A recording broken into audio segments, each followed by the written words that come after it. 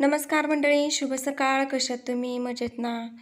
आणि मी सोनम जगदाळे आपल्या सोनम सातारकर या यूट्यूब चॅनल सगळ्यांचं स्वागत करते. तर आजचा व्हिडिओ खास इंटरेस्टिंग आहे. जे काय म्हणतात फुलझाडं प्रेमी आहेत त्यांच्यासाठी तर खूप महत्त्वाचं आहे.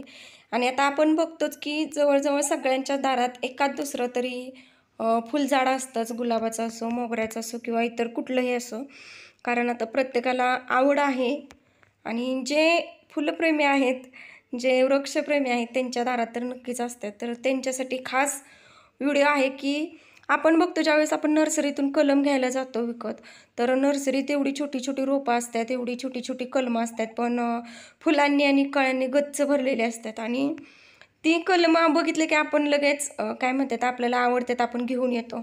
पण ज्यावेळेस ती कलमं घेऊन घरी आल्यानंतर आपण ती व्यवस्थित लावतो एक महिना दीड महिना त्याला फुलं व्यवस्थित येतात. आणि नंतर त्याला फुलं यायचीच बंद होतात. तर किंवा काय होतं मग त्याला एकतर नरवान वेलीसारख्या फांद्या येतात आणि फुलं यायचीच बंद होतात.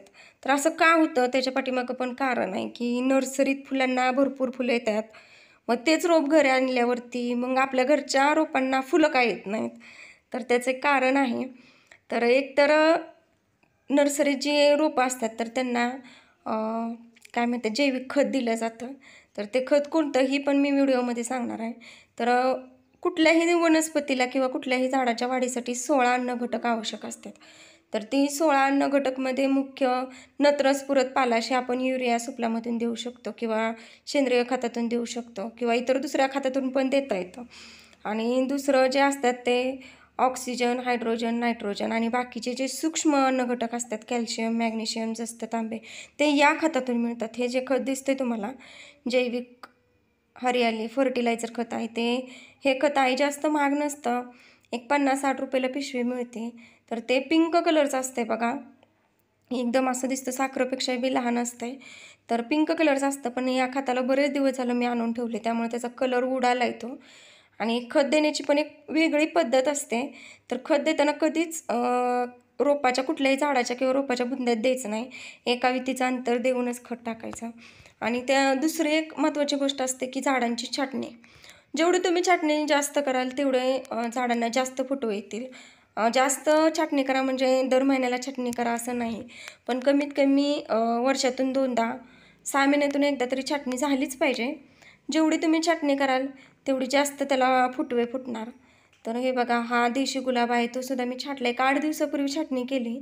तुम्ही बघू शकता आता पाऊस तर कंटिन्यू सुरू आहे आमच्याकडं. एक पंधरा दिवस झाला पाऊस उघडलाच नाही. मी पावसातच छाटणी केली. तर आता एवढे फुटवे आलेत त्याला. तर हे सुद्धा कलम जे आहेत हे बाकी सगळे टोटली कलम विकत आणलेले आहेत. मागच्या वर्षी मी चार प्रकारचे गुलाब घेतलेले हा मोगरा घेतलेला. तर ह्या मोगऱ्याला बघा मी लावल्यानंतर वर्ष झालं फक्त एक फांदी फुटली बघा आत्ता फुटवा. तो या महिन्यात फुटवा धरला आहे त्यानं. तोपर्यंत मोगरा हाय असाच होता त्याला एकही फुटवा फुटला नव्हता. तर हे सुद्धा कलम आहे. ते मला वाटते ऑरेंज कलरचं हां बहुतेक ऑरेंज कलरची जास्वंद आहे. आणि हा कुंद आहे.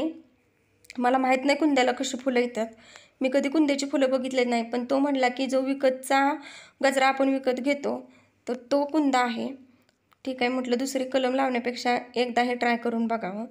तर बाकीचे ते दोन गुलाबसुद्धा कलमचेच आहेत. पूर्ण भिंतेला अशी कलम लावून घेतलेत. आणि घरी तयार केलेले वाहनं तर येतातच पण जास्त कलम केलेली रोपं जर आपण लावली तर ती अगदी उत्तमरित्या येते ती. तर बघूया ट्राय तर करून बघते. तर हे खत देताना पण महिन्यातून एकदाच द्यायचं. तुम्ही एक ते दोन चमचे फक्त हे खत द्यायचं. आणि जास्त सोयीस्कर हे खत पाण्यातून दिलेलं जास्त सोयीस्कर होतं पण आता सध्या पाऊस चालू आहे. म्हणून मी असंच टाकते खत. तर तुम्ही सुद्धा हा प्रयोग नक्की ट्राय करा.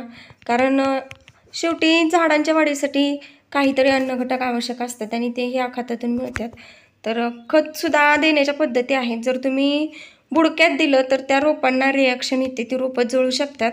कारण आपल्याला सुद्धा जर ओव्हरडोस गोळ्यांचा घेतला औषधांचा घेतला तर आपल्याला सुद्धा त्याची रिॲक्शन येते त्याची गुंगी येते. तसंच झाडांचं सुद्धा आहे. शेवटी ते सुद्धा एक सजीव आहेत.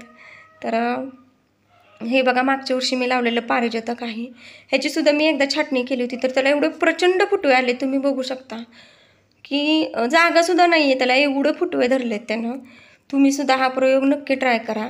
आणि बघा एका वर्षाचं पारिजातक आहे. माझ्या उंचीपेक्षा मोठं झालं आहे आणि त्या वाऱ्यानं फांद्या वागतात म्हणून त्याला मी सपोर्ट दिला आहे त्याचा बुडकासुद्धा बघा केवढा आहे. फक्त एकदा छाटणी केली होती आणि एकच वर्ष झालं हे पारिजातक लावलेलं आहे. तर आमच्या दारात बरीचशीच झाडं येते जेवढं मला शक्य होईल जिथं मला अवेलेबल होतील तिथनं मी घेऊन यायचा प्रयत्न करते.